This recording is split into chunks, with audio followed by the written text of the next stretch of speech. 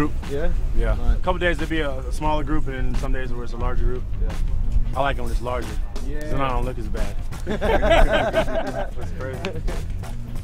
For football, for us, the, the uh, crossovers that in capoeira is like real smooth movements. Right, like right. Kind of you can freestyle a little more. In football, it's like football stance and you know run the route like this and that. And Right. It's like certain movements that you that you do that you do on a consistent basis. Where in capoeira, it's, it's just all things are different. So you're able to trans- transfer that back over to football, and people aren't able to, to deal with. it. You're like, well, how do I block him? Man, he's moving like this. And, yeah, it carries over really well. When I first started, I had I had come off an injury. I tore my uh, pec tendon, so uh, I was trying to get, to get into something different so I can get that strength back faster. At first, I was kind of it was shaking a little bit, but it caught on real fast. It, it got strong fast.